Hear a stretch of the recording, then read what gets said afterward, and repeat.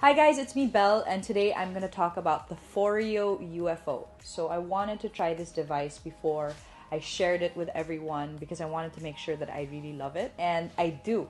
This is a device that is supposed to cut the time of masking. You know, sometimes we put on a mask and it takes like 20 30 minutes for your skin to absorb and it gets all sticky and then we have to throw it away. Well, this FOREO UFO device helps spread the serum or the product all over your face evenly. And this cuts that time tremendously. It only takes 90 seconds. But aside from that, there are so many benefits that I want to talk about. One of it is the LED light technology. So, LED stands for light emitting diode. And after doing much research, it talks about how this LED light technology is absorbed by the skin and it basically rejuvenates and restores cellular production. What does that mean? It is good for collagen production.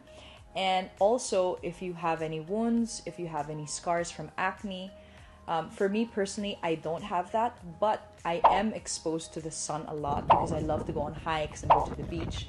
Um, so, this LED light technology is something that helps counter that effect. So another thing that I love is the T-sonic pulsation because it creates micro pulsations that allow for your blood to circulate around your face. And that's the reason why my makeup artist Gabby was saying that I look plumper. Not because I'm seven and a half months pregnant, but because we've tried the different products as well. We've tried the coconut one, the hydrating mask, and I feel like the Manuka honey is the perfect match for a prep before you put on your makeup because you need your face to be moisturized but not too moisturized so that your foundation sticks and then it's still kind of like it dries on and has that glow or that brightening look. And lastly, I guess what I wanted to talk about is the cryo effect. Now, it seems like there's so many things going on just for this little device, but I don't know, it's compact, it's efficient, it's 90 seconds. The cryo effect is supposed to make your pores a bit smaller.